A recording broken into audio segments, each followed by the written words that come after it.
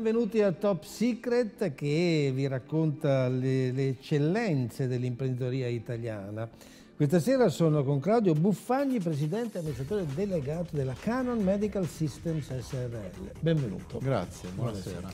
Canon che tutti noi siamo abituati insomma, a concepire in un certo modo, in realtà non è solo quello che conosciamo noi, è, è, ben altro. Non è solo il mondo della macchina fotografica, ecco, perché si conosce per quello per le stampanti per computer, che è quello che in pratica sul consumer si trova, ma non è solo quello, è tantissimo altro, addirittura il mondo Canon è oltre che nel mondo della stampa, quindi stampa alta risoluzione, via dicendo, eh, è quella del mondo medico, sanitario, quindi la parte healthcare di un'importanza fondamentale, sì. fondamentale, adesso ne parleremo, parleremo dei prodotti. E, ehm, comincerei però dalla storia sì. di questa azienda. Ma una storia abbastanza lunga perché in pratica la parte di Canon Medical nasce nel 1914. Ah. Quindi ha veramente tantissima storia, eh, è sempre stata un'azienda che si è mossa nel settore dell'imaging diagnostico, si chiama, e quindi è un'azienda che ha sviluppato tutta la sua tecnologia proprio per dare risposte a quello che sono le necessità del mondo della sanità. Senta, eh, qual è la filosofia aziendale? Allora, bisogna un attimino fare un po' di chiarezza, che mm, Canon Medical System fa parte in pratica del uh, gruppo Canon Inc., che è azienda giapponese, sì. anche lei, uh, sede a Tokyo e in pratica è uno dei marchi più riconosciuti a livello mondiale, parliamo in pratica di essere nelle top 100 aziende o marchi a livello mondiale. Uh, è un'azienda che in pratica ha um, circa 187 mila dipendenti a livello mondiale. Però. Uh, la parte medicale ha 11 centri di ricerca a livello uh, mondiale e sviluppa in pratica tutti i prodotti direttamente lei e produce tutto in Giappone, quindi in pratica ha 5 impianti produttivi in Giappone. Uh, è un'azienda in pratica con una filosofia che nasce dalla parte di Canon utilizzando una parola giapponese che è Kiyosei e questa parola giapponese in pratica ha un significato che ha un significato che vuol dire in pratica vivere e lavorare per il benessere. Okay? Quindi in pratica è uh, un qualche cosa che fa riferimento in pratica a un modo di lavorare, vivere per il bene di tutti, quindi di tutte le persone e di tutto il sistema nel quale è inserita l'azienda, ok? E quindi l'attività dell'azienda. Quindi lei uh, parla giapponese? Io non parlo giapponese, qualche parola l'ho imparata negli anni perché ho lavorato con il Giappone veramente moltissimo nella mia carriera professionale, ho più o meno 25 anni di esperienza con le aziende giapponesi e qualche parolina l'ho imparata, ok? Uh, soprattutto per chiedere ai giapponesi gli sconti. Ah, ecco, bene, quelle si imparano subito quelle parole lì. e, è una cultura molto diversa dalla nostra, ok? Ma veramente molto, molto interessante ed è un piacere lavorare con questi signori, realmente. Parliamo del core business dell'azienda, cioè che cosa fate? Noi in pratica ci occupiamo di tutto quello che è la parte definita eh, diagnostica per immagini.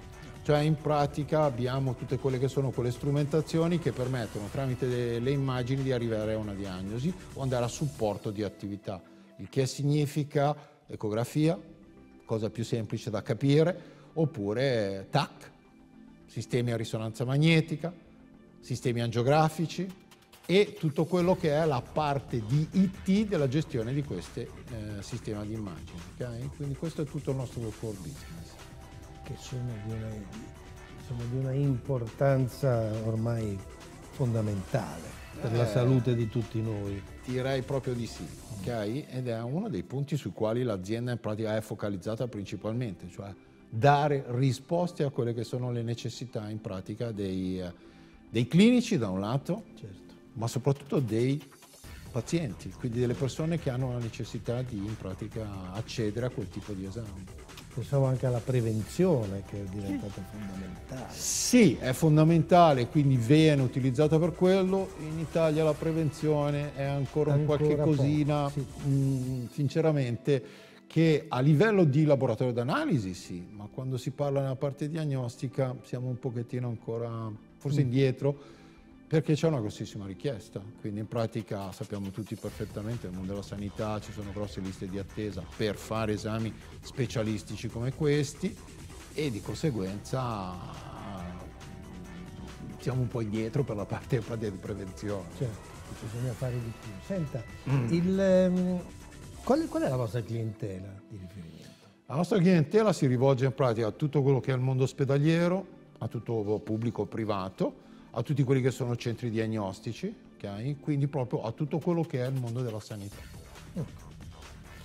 Ehm, certo, non so quante aziende ci sono al mondo che fanno questo tipo di macchinari, che sono macchinari importanti, fondamentali, immagino anche costosissimi dal punto di vista proprio costo è sempre un punto di vista. No, beh, cioè, vale la, la, vita di una persona vale certo. ben altro, ci mancherebbe altro. Ma ecco, quali sono le, eh, diciamo, le differenze con i vostri competitors?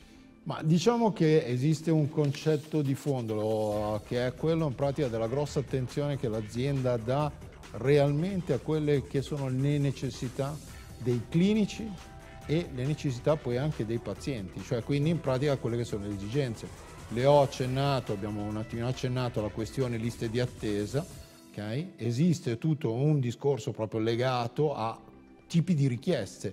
Quindi il clinico che vuole in pratica avere immagini sempre più belle, sempre più definite, Uh, le faccio l'esempio della televisione, televisione siamo passati da una televisione chiamiamola normale a quella ad alta risoluzione, HD, poi 4K, adesso si parla di 5, di 8, di queste cose qua e lo stesso discorso quando si parla di imaging è lo stesso, okay? quindi la richiesta è di avere sempre maggiori informazioni e dettagli e risoluzione sempre più elevata.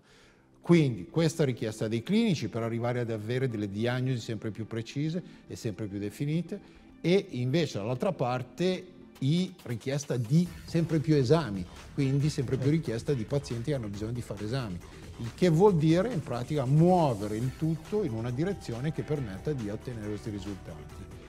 Eh, la nostra azienda è molto focalizzata su questa parte e in pratica cosa è successo negli ultimi cinque anni? l'azienda ha investito tantissimo in quella che è la parte di intelligenza artificiale. Quindi sono stati aperti cinque eh, centri di ricerca e sviluppo specifici solo per l'intelligenza artificiale a livello mondiale, in cinque diverse location a livello mondo e in queste location in pratica viene continuamente sviluppata tutta quella che è la parte di intelligenza artificiale eh, collegata al mondo della sanità. Questo ha portato ad avere miglioramenti a livello di qualità d'immagine, Okay? Quindi le immagini sono migliorate, sono diventate più belle, più pulite, quindi uh, risultati diagnostici fa più facili per gli utilizzatori e dall'altra parte l'intelligenza artificiale è stata anche applicata in tutti quelli che sono i processi di gestione di un'immagine, quindi hanno permesso di velocizzare i processi e di conseguenza creare sistemi che danno una produttività maggiore, quindi in pratica più rapido se anni fa per fare una risonanza ci si impiegava x tempo, oggi in pratica è x meno y, ok? Quindi in pratica è diventato molto più veloce, se prima facevi uh, tre pazienti in un'ora, adesso ne puoi fare cinque. Certo. Questo è un po' il concetto, ok? Ma con una qualità di immagine superiore. Quindi questo è velocizzare da un lato, ma contemporaneamente dare anche una risposta a quella che è la qualità più elevata dei sistemi che sembra, sembra, di parlare di, di, fantascienza, veramente. Io, a me è capitato, ahimè, di dover fare degli esami molto accurati. Eh, sono delle, de, de, de, delle, sale dove sembra di essere in un'astronave. Più o meno.